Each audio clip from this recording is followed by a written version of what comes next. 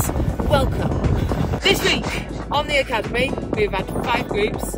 In my group, we have pretty much done every single itinerary uh, that Verbier has to offer, which has been amazing because the snow is really beautiful and it is cold, which keeping the snow really nice. We've also got the Masters course, I'm sure there's loads of footage of those guys. They're the guys that are here for a big chunk of the season to sort of just doing one week of the Academy to doing a whole big Masters course to really improve. Everything's kicking off this week. We've been super, super busy. Next week, Wednesday, Thursday, Friday, the Pow Pow is coming back. we'll see you next week, baby.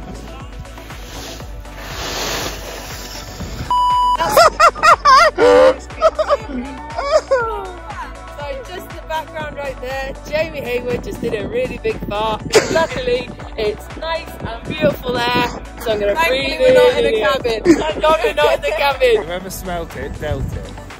Whoever made the rhyme did the crime. Whoever did the rap did the crap.